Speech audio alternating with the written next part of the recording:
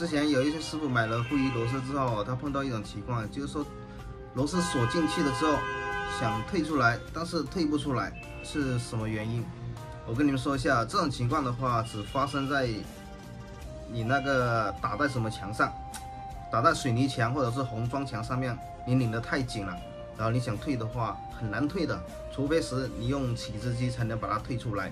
所以我建议你们红砖的还有那个水泥墙的，尽量就不用使用了，用那个膨胀螺丝的话，效果会更好一点。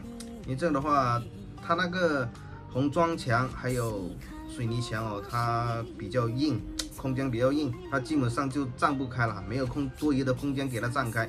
它的使用方式最好的话是在哪里？是在这个嗯轻质装上面，它的效果是很好。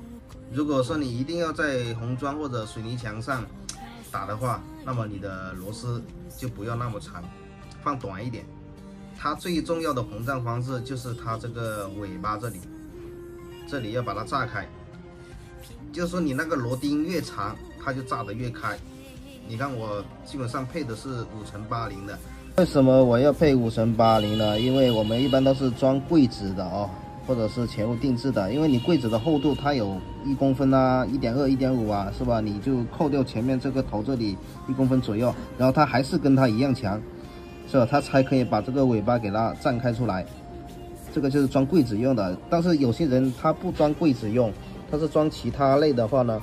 它的螺钉就会长很多，那你打孔的话就要打跟螺钉一样深才行。我就现在配的一个规格，配短一点，五乘七零的，啊，跟它一样长的，这样的话就可以装一些挂挂件之类的就可以了。我给大家试一下它的膨胀方式，现在把螺钉打到最里面去，一定要超过它这个胶塞，完全绽开了之后，它有十三厘。一般普通胶塞，我们打八厘的孔，撑开后是十厘左右，但是它这个撑开后它是有十三厘。我现在就是要装一个支架，它不是柜子，所以你要是说用五乘八零的螺丝，它会长很多，孔也要打得很深，所以这个我就用五乘七零的螺丝就可以了。这个支架呢是用来放电脑主机的。我儿子他自己从网上买了一些配件回来，自己组装了一个电脑，说不能放在地下，放在地下的话灰尘太大了，会吸到主机里面去啊，所以就买了一个架子放在这个上面。这个主机挺沉的，不挂稳一点的话就怕它会掉下来。我问儿子这个主机买了多少钱，他说花了两千块钱不到。现在这么好看的主机。才两千块钱不到吗？